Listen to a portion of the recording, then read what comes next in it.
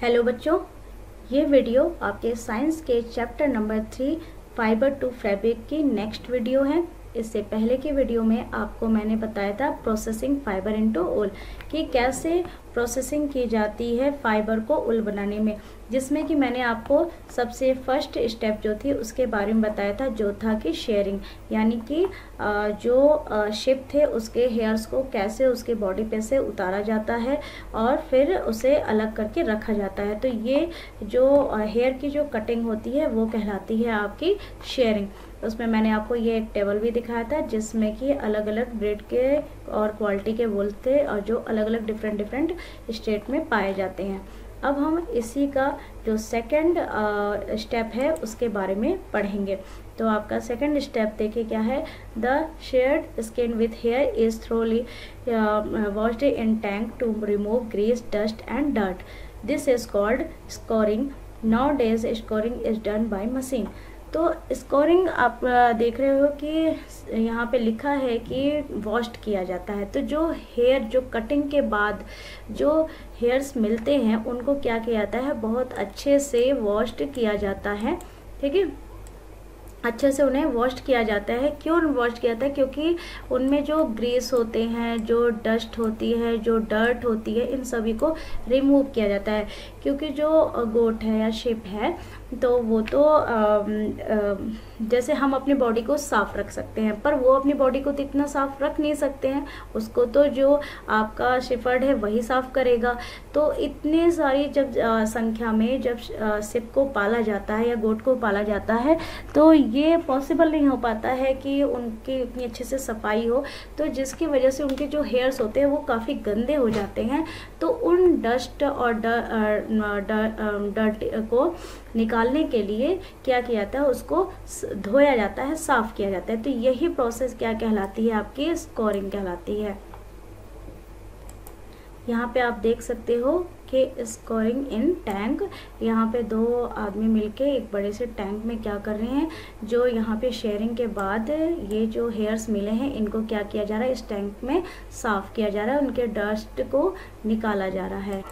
अब हमारा जो स्टेप है नेक्स्ट थर्ड स्टेप है after scouring sorting is done the hairy skin is send to a factory where hair is different textures are separated और store तो अब क्या हुआ कि जब इनकी साफ़ सफ़ाई हो जाती है स्कोरिंग हो जाती है तो उसके बाद इनको छाटा जाता है। शॉर्टिंग मतलब क्या होता है कि छाटना, ठीक? तो अब क्या होता है कि एक साथ तो जब शिप की हेयर निकाली जाती तो बहुत सारे शिप की हेयर निकाली जाती है।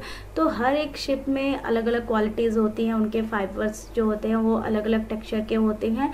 तो उस टेक्सचर को पहचान के उनको अलग अलग सेपरेट रखना ही कहलाता है आपका शॉर्टिंग ठीक? तो इस तरह से क्या किया जाता है, जो इनके फाइबर्स हैं, उनको अलग अलग क्या करते हैं सेपरेट करते हैं। यहाँ पे आप देख सकते हैं, इस तरह से सेपरेट करते हैं यहाँ पे। इसके बाद हमारा जो स्टेप है नेक्स्ट वो है fourth step the small fluffy fibres called burrs are picked out from the hair तो अब इसमें जो छोटे छोटे फ्लफ़ी टाइप के फाइबर्स होते हैं जैसे कि हमारे जो आ, स्वेटर होते हैं उसमें भी आप देखते होंगे कभी कभी छोटे छोटे गोले बन जाते हैं रेस रेशियो के फाइबर्स के। तो वैसे ही आ, जो शिप के जो हेयर्स होते हैं उनमें भी इसी टाइप के गोले बन जाते हैं फ्लफ़ी फाइबर्स होते हैं। उनको क्या किया जाता है कि छाट के अलग कर दिया कर दिया जाता है। This are the same burrs which sometimes appears on your sweater ठीक? तो इसमें क्या होता है, जो भी एक जैसे फाइबर्स होते हैं, जो छोटे छोटे फाइबर्स होते हैं बुर्स माने होते हैं, जो छोटे फाइबर्स होते हैं, उनका क्या करते हैं, उनको, उनसे स्वेटर बनाया जाता है, ठीक? इसके बाद देखिए the fibres are scoured again and dried this is the wool ready to be drawn into fibres तो अब क्या होता है कि इस जो भी छटाई हो जाती है, जो छोटे छोटे हेयर्स अलग कर लिए जाते हैं, उनको वापस फिर से उनको साफ़ वगैरह किया जाता है, सुखाया जाता है और उसके बाद फिर क्या करते हैं, इनसे अब क्या बनता है फाइबर बनता है। ठीक, अब यहाँ पे फाइबर बनने का प्रोसेस चलेगा। हमारा जो अब नेक्स्ट फिफ्थ स्टेप है, वो क्या है? The fibres can be dyed in various colours as the natural fleece of sheep and goats is black brown and white ठीक तो यहाँ पे जो हमारा शिप और गोट का जो फ्लीस यानी कि यहाँ पे आप हमेशा याद रखिएगा फ्लीस माने हेयर ठीक तो जो हेयर है वो ज़्यादातर क्या होगा? ब्लैक ब्राउन या वाइट होगा। तो अब हम इन्हीं तीन कलर के तो आ, कपड़े पहन नहीं सकते या स्वेटर या शॉल यूज़ नहीं कर सकते हैं। तो उसके लिए क्या किया जाता है? इनको कलर किया जाता है इनको डाई किया जाता है डिफरेंट कलर्स में। जिससे कि हमें अलग अलग कलर के कपड़े जो फाइबर बनाने हैं सॉरी फैब्रिक्स बनाने हैं वो मिल सके। नेक्स्ट है हमारा six step the fibres are straightened combed and rolled into yarn. तो अब क्या करते हैं कि हम जो फाइबर्स मिले हैं, उनको सीधा करते हैं, फिर उनको रोल करते हैं किसमें यान में। अब जो हमारा जो फाइबर था, अब वो किसमें कन्वर्ट हो जाएगा? यान में। यानी कि जो एक धागा होता है, उसमें कन्वर्ट हो जाएगा। The longer fibres are made into wool for sweaters and the shorter fibers are spun and woven into woolen cloth तो यहाँ पे क्या किया जाता है? जो लंबे थ्रेड होते हैं, उनसे क्या बनाया जाता है? उनसे बनता है हमारा स्वेटर और जो शॉर्ट होते हैं, उनसे अदर क्लॉथ्स बनते हैं। जो उलन क्लॉथ्स होते हैं, वो छोटे वाले शॉर्ट फाइबर से बनते हैं। ठीक है? यहाँ पे आप सारे पिक्चर्स देख सकते हैं। कैसे शेयरिंग की जा रही है उसके बाद स्कोरिंग की जा रही है फिर उसके बाद स्कोरिंग जो है अभी आ, मशीनों से भी की जाती है जो साफ़ सफ़ाई होती है वो मशीनों के द्वारा भी करा जाता है। फिर उसके बाद है रोलिंग इनटू यान अब इसको क्या कहता है थ्रेड को यान के रूप में रोल किया जाता है। बड़े बड़े रोल से इनके बनाए जाते हैं। तो यहाँ पे देखिए the processing of fibre and wool can be represented as follow तो ये एक पूरा एक जो स्टेप है, वो इस तरह से आप याद कर सकते हो कि कैसे शेयरिंग होती है स्कोरिंग होती है शॉर्टिंग होती है क्लीनिंग ऑफ़ गुड्स होता है, उसके बाद उसको डाई किया जाता है, फिर उसके बाद उसकी रोलिंग की जाती है। तो ये स्टेप अगर आपको याद होगा तो आप अगर उसमें पूछ लिया कि कैसे प्रोसेसिंग होती है क्वेश्चन आ गया कि कैसे प्रोसेसिंग की जाती है बोल के तो अगर आपको ये स्टेप्स इस तरह से याद होंगे तो आप इसके अंदर अपनी लैंग्वेज में जो भी प्रोसेस प्रोसेस है उसको आसानी से लिख पाओगे।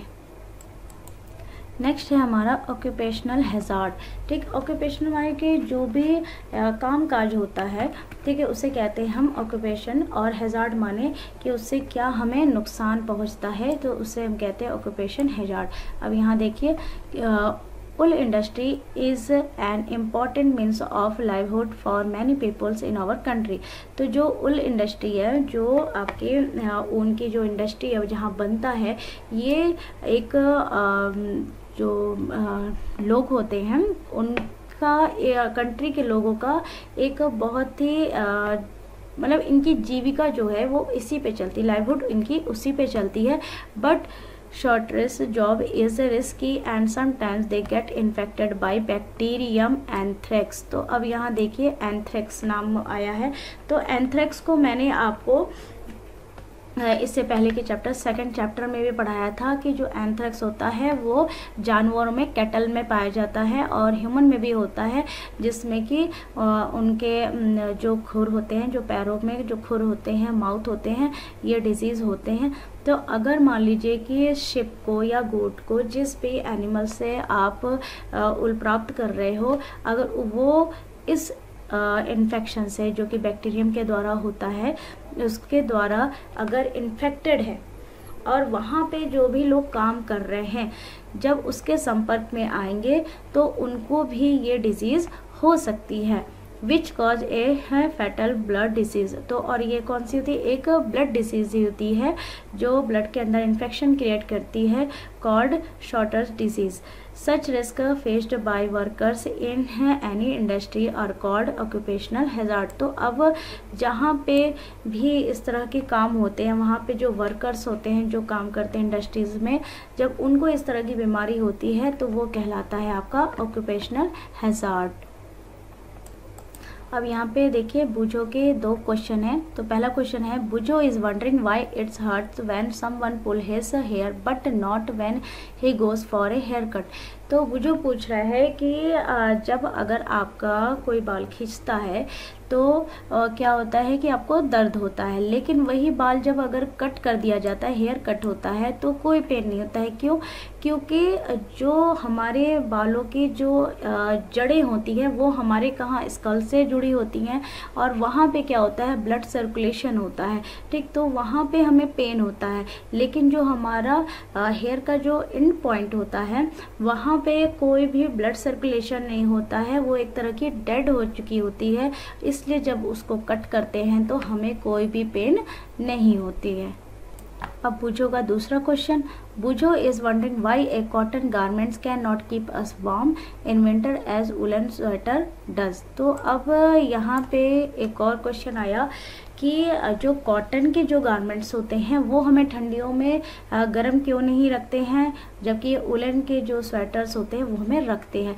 इसके लिए मैंने आपको पहले भी बताया था कि जो शिप के जो हेयर्स होते हैं, वो क्या होते हैं कि एयर के बैड कंडक्टर होते हैं और वो उसको क्या करते हैं, काफ़ी टाइम तक ट्रैप करके रख सकते हैं। इसी तरह जो स्वेटर होता है, जब हम स्वेटर पहनते हैं उलन के तो वो भी क्या करते हैं कि वो हमारे बॉडी और स्वेटर के बीच में एयर जो होती है, वो ट्रैप हो जाती है और वो हमें क्या करती है, गर्म में जो होती है, गर्म रखती है। उसकी वजह से हमें क्या होती है कि ठंड नहीं लगती है बट कॉटन के जो गारमेंट्स होते हैं, उनमें ये चीज़ नहीं पाई जाती है, इसलिए हम विंटर में कॉटन के गारमेंट्स का यूज़ नहीं। अब जो हमारा नेक्स्ट टॉपिक है, वो है सिल्क ठीक? तो अब सिल्क क्या होता है? सिल्क के बारे में पढ़ते हैं। सिल्क फाइबर और ऑल्सो एनिमल फाइबर तो जो सिल्क फाइबर है, वो भी क्या है? एनिमल फाइबर में ही आता है। Silkworms spin the silk fibre जो सिल्क वर्म्स होते हैं, वो ही क्या बनाते हैं? सिल्क फाइबर बनाते हैं। ठीक तो अब हम इसके बारे में पढ़ेंगे जो सिल्क वर्म होते हैं, वो कैसे जो सिल्क फाइबर हैं, उनको कैसे बनाते हैं, उनकी एक पूरी लाइफ साइकिल होती है तो उसके बारे में देखते हैं। The rearing of silkworm for obtaining silk is called sericulture तो इस तरह से जो सिल्क वार्म से जो सिल्क प्राप्त किया जाता है वो कहलाता है सेरिकल्चर। ये बहुत ही इंपॉर्टेंट क्वेश्चन है कि हमेशा पूछता है कि व्हाट इज़ सेरिकल्चर? तो इसलिए आ, इसका यहाँ से आप लिख सकते हैं answer the rearing of silkworms for obtaining silk is called sericulture तो आपको अगर याद रखना हो तो इसके लिए आप याद रख सकते हो सिल्क से sericulture.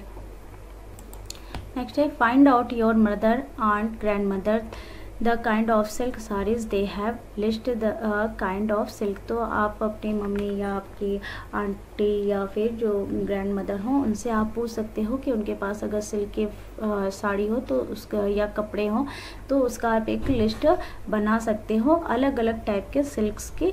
Before we discuss the process of obtaining silk it is necessary to know the interesting life history of the silk moth. तो सिल्क कैसे प्रोसेस किया जाता है? कैसे उस मतलब उस सिल्क से फाइबर बनाया जाता है? वो जो एक प्रोसेस है, उसको जानने से पहले हम क्या पहले जान लेते हैं? Life history of the silk moth ठीक? तो सिल्क मॉथ सबसे पहले उसकी जो पूरी एक प्रोसेस है, वो क्या है? उसके बारे में डिस्कस करेंगे। देन हम जो सिल्क प्राप्त होता है, उसके बाद उससे कैसे फैब्रिक्स बनते हैं, उसके बारे में डिस्कस करेंगे। तो life history of silk moth ये हमारी हम नेक्स्ट वीडियो में डिस्कस करेंगे। आज मैंने आपको सिर्फ़ अभी सिल्क के बारे में बताया है और जो भी उल बनने की जो एक प्रोसेसिंग थी, उसके बारे में बताया, जिसमें कि पूरे छः स्टेप इन्वॉल्व थे। आई होप आपको ये टॉपिक भी बहुत अच्छे से समझ में आ गया होगा।